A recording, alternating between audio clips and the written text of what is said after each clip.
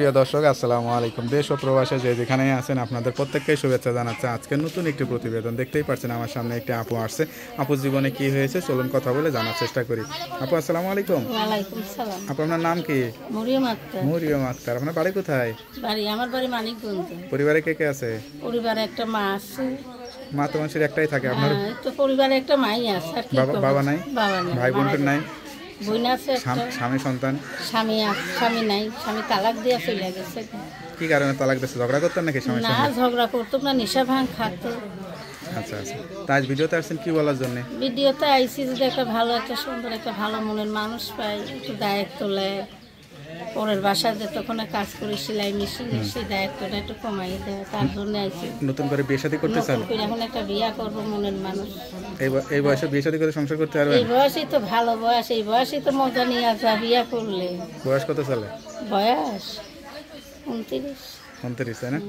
আচ্ছা আচ্ছা। তো এখন তো আর কিছুদিন পরে শ্বশুর শাশুড়ি কি না কি শাড়ি টাড়ি হয়ে যাওয়ার কথা আর আপনি এখন বিয়ে শাদী করতে যাচ্ছেন? এখন বিয়ে করব শাড়ি একটু দেরিতেই হই না তো তাড়াহুড়া করে শাড়ি হয়ে বাচ্চা কাচ্চা হবে তো এখন আবার বিয়ে শাদী করলে? বাচ্চা হবে একটা ঝুরা ঝুরা জোড়া জোড়া হবে তাই না? আচ্ছা আচ্ছা। তো ভিডিওতে না আসলে কি কেউ বিয়ে শাদী করতে যাচ্ছে না? সবাই তো বলে যে ভিডিওর মাঝে যা গেলে একটা ভালো মনের মানুষ তার জন্য আইসি আচ্ছা আচ্ছা। কষ্ট লাগে কোনটা এই বয়সে? কষ্ট লাগে একটাই দেখা থাকি এটাই কষ্ট।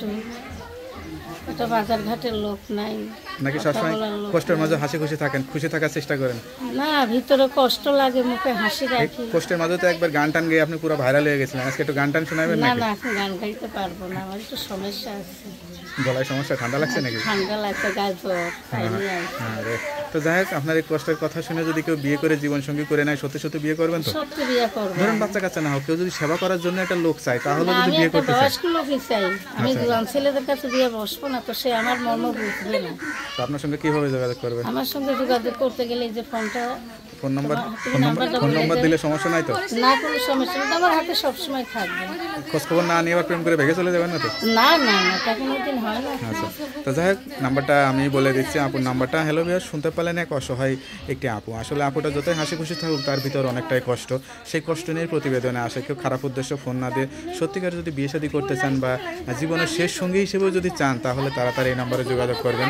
তা নাম্বারটি হচ্ছে zero one double three double zero nine four double one three. নাম্বারটা খোলা থাকে তো? সবসময় তার কিছু বলতে চান? আর একটা কথাই বলব তাদের কাছে দর্শক ভাইদের কাছে বলব খারাপ মন নিয়ে আমার মোবাইলের মাঝে ফোন দিবেন। ভালো মন দিয়ে ফোন দিবে আমি সবসময় মোবাইল খোলা রাখব হাতে রাখব বিয়ে না করলে কথা বলতে চাইলে কথা বলবেন খালি তাই না? বিয়ে যদি নাও করো তা কথা বলতে চাই বন্ধু হিসাবেও থাকবে। আচ্ছা আচ্ছা। যাই আপু, ভালো থাকলেন আর সবসময় নামাজ কালাম পড়ে আমাদের জন্য, সবার জন্য দোয়া করবেন। তো ভালো থাকেন, আসসালামু আলাইকুম।